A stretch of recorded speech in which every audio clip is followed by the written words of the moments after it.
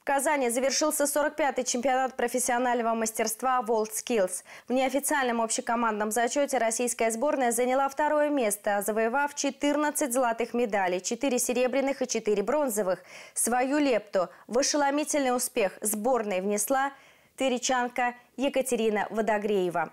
Золотую медаль в компетенции управления жизненным циклом завоевала отраслевая команда госкорпорации «Росатом». В ее составе выступала инженер-технолог Екатерина Водогреева. Вот как она комментирует победу в чемпионате. Большая честь быть частью команды госкорпорации «Росатом». Участие в чемпионате – это отличная мотивация к совершенствованию профессиональных навыков, а также отличная возможность обменяться опытом и передовыми методами работы в отрасли с целью повышения надежности и безопасности мировых атомных технологий.